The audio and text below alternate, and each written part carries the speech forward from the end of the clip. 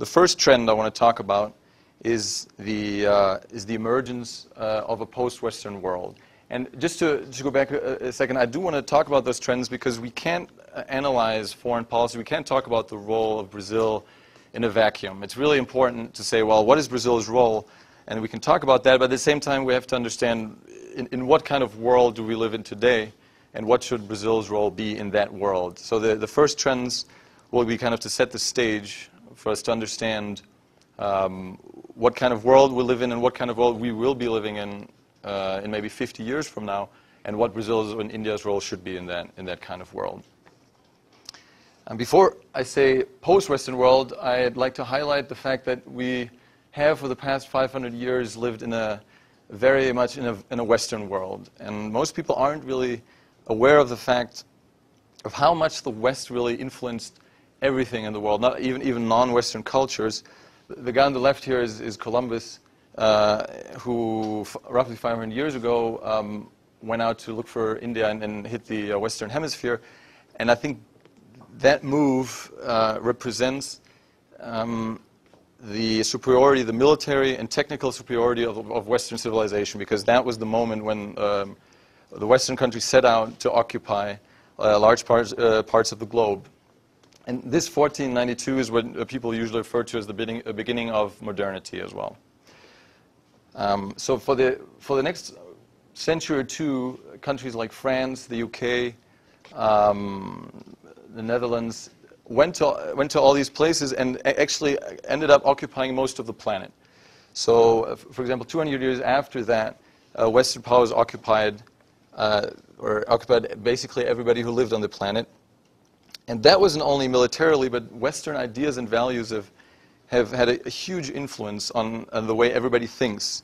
For example, we look at the nation state which is a Western idea. So the whole world nowadays organizes itself as nations. And that's a, that's a, a Western idea. We have um, even, even, African countries are Western creations, right? The West came to Africa and, and, and cut the continent to pieces, and those are today uh, the countries. The way we measure time, for example, is a Western idea as well. So even in, in China nowadays, we are in, in 2009.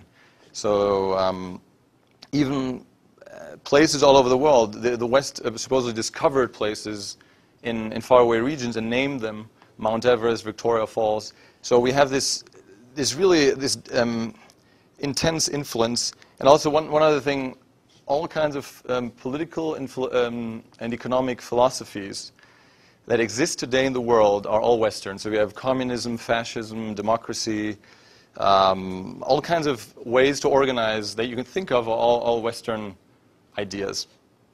Um, and uh, one interesting thing I think is that Western people often think that that's because of uh, the superiority of uh, Western values. And that I think is, is, obviously not the case, but this happened and uh, the West was able to impose itself on the world because of uh, technical and military superiority. So, and, and, it, was, it was not done with soft power. It wasn't done because it was more attractive, but because the, the West had the hard power to impose itself on, on different cultures and different peoples. Now, um, so we, we have the Western world. And now this guy, does anybody know this guy? No? Okay, I, I don't know this guy either, but uh, he's, um, it's a former Lehman employee, actually. Um, and I, I took this picture because I, during the, the crisis, I, I lived in New York for a while, and this guy has just packed up his stuff, and Lehman Brothers has just closed. And New York was full of those people for, for a while. It was really amazing. You saw those depressed bankers, uh, you know, in, in, in suits carrying out all their, their files. And Lehman Brothers was actually the, the beginning of the, the financial crisis. And there's a lot of people today who say that in 200 years from now, historians or political scientists will mark that year as the end of a 500 year reign of, of, of Western dominance. And uh, obviously that's a, that's a big statement, and we, we, we can't tell for sure, but the, the crisis that we've, that we've lived today that hasn't really hit Brazil at all in comparison to America, and that hasn't had India or China really, is the first time that we have a financial crisis that, uh, that originated in a rich country, that had a terrible impact in uh, America and in, in Europe, and that didn't really hit the, the, uh, the non-Western regions of the world.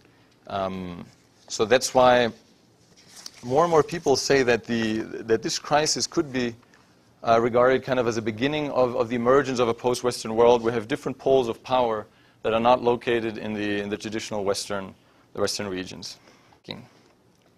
So that's why when I talk about a power shift, I really want to talk about a, a hard power shift. And I, I do want to specifically um, lay emphasis on the economic aspect of, of hard power. Because here, when you look at military expenditure, you can see that 41% um, of all global military expenditure is still um, by, by the, uh, done by the Americans.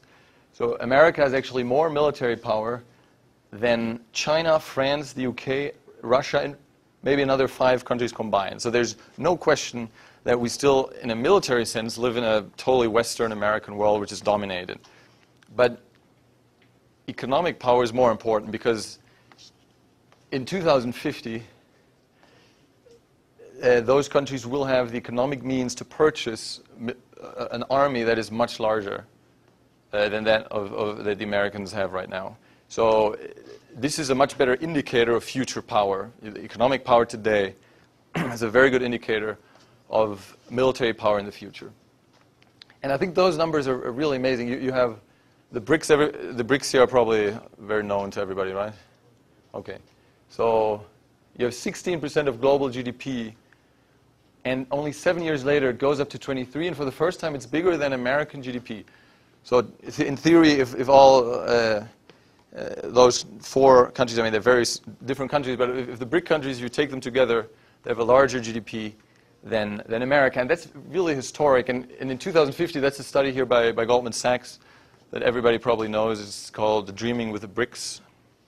Um, and the Goldman Sachs actually coined the term BRICS.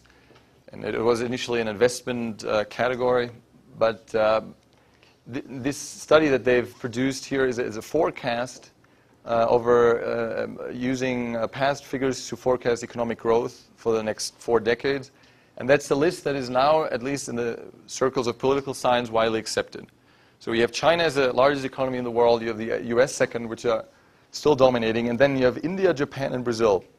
So of the traditional other powers, there, there's, no, there's no Germany, there's no uh, United Kingdom or France in there. So you have a, a really a different, um, a different situation than you have today. And some of the figures that we read in the newspaper today are, are indicative. For example, China is now the biggest uh, car market in the world. Um, and uh, over 75% of the growth after the crisis has been generated only by China and, and India. So there's been no growth in the traditional powerful centers of, of the world. So that's actually the, the, the first trend um, of the three that I'll talk about. The second trend is the emergence of, of global challenges. So just to, to, summarize, we have the first trend, we have a shift of power from traditional uh, powerful countries to, to new countries, to emerging countries like China, India, and Brazil.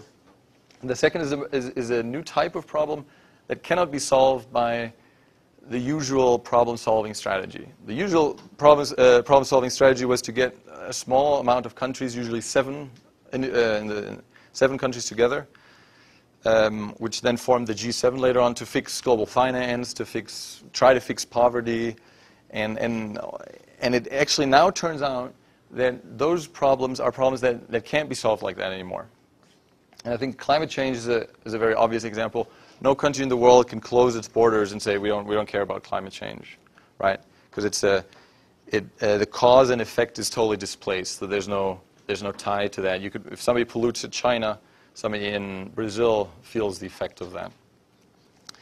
Um, and at the same time, if we, if you think now about Brazil's role, we could say that's really a great opportunity for, for Brazil to assume leadership, right? Because the, the whole point of, of this is to, to think about how can Brazil increase its leadership, how can Brazil increase its power. And suddenly you have problems that require the uh, participation of a lot of countries. So Brazil, if you, if you think about it, and says, well, that's, that's wonderful. We can assume leadership. We